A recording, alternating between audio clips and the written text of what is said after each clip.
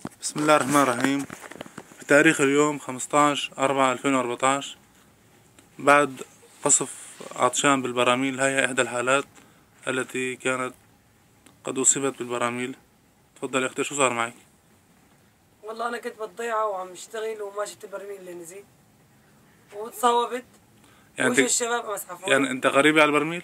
قريبي شيء أنا بقول شيء 100 متر. 100 متر. 100 متر. كنت بالدار عم اشتغل وتسممت.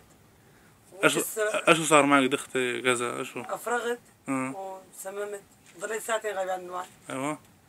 وبعدين جا الشباب عطوني إبر وسيرون ركبوا لي ولحد الآن مرضاني يعني. يعني هلق من شوي شالوا لي السيرون. آه، يعني يعني 24 ساعة صار له السيروم لا هلق علق بإيدي. شلون أمورك هلأ؟ والأمور لا هلق تعبانة وحالي عم يجي. بترجف لحد الآن. لحد الآن وجري عم توجعني كمان. كمان. طيب أنت كنت لحالك بالبيت ولا معك حدا؟ لحالي كنت. لحالك كنت أنا وأخوي أخوي سبقني على الصراحة وأنا ضليت لحالي أيوه. يعني لحد الآن حاسة إنه لحد في الآن إذا بصير لي كمان دواء برجع بآخذ دواء. أيوه. يلا ماشي.